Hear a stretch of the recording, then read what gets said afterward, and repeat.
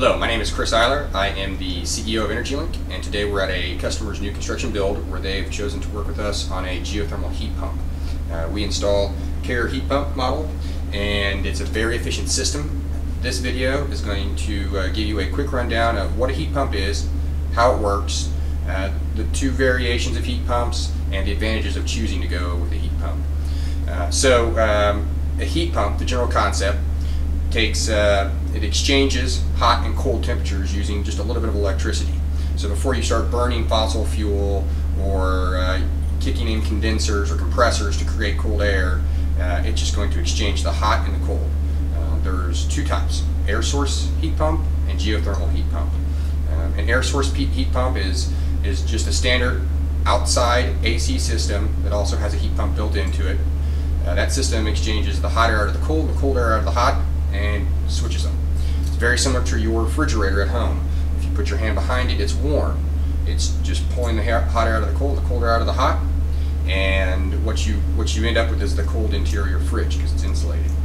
Now, um, this system is a geothermal system, geothermal heat pump. It's also known as a ground source heat pump, and it is taking advantage of the Earth's core temperature at 55 degrees to aid in that temperature change, that exchange in temperature. So we've got a glycol solution that's going to flow through the geo geothermal system, pick up the hot air from the inside, in this case it's the summer, so the hot air from the inside, run it outside into the ground, where the ground does the work of removing that temperature from the piping. Um, when it comes back to the system, it's nice and cool, 55 degrees, and the system continues with the exchange. Uh, what they gain is actually tapping into the Earth's core, a renewable system that uh, is going to save this homeowner about 60% on their utility bill.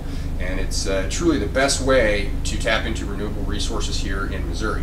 So let's uh, let's go outside and take a look at the drill as it's putting in putting the holes in the ground, and we can give you a little bit more information about uh, how the drilling process can be uh, can transition to your job site, your home, or your farm. Okay, so we're outside, and behind me you can see the drill running. Uh, this is a vertical drill.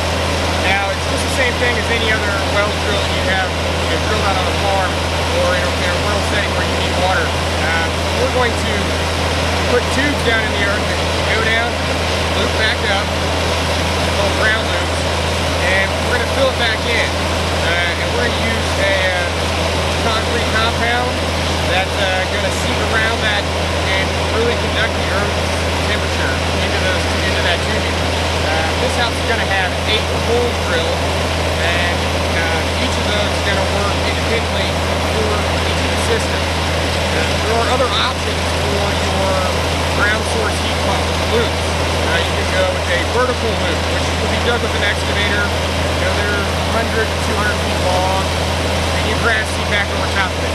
There's also a lake loop. So you have a lake nearby, you can run off the lake temperature. Uh, all those need to be engineered and specified for the load of the house and how many BTUs you're looking to transmit to the earth.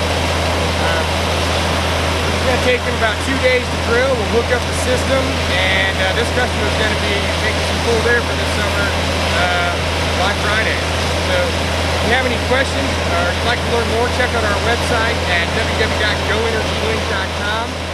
Again, thanks for stopping by.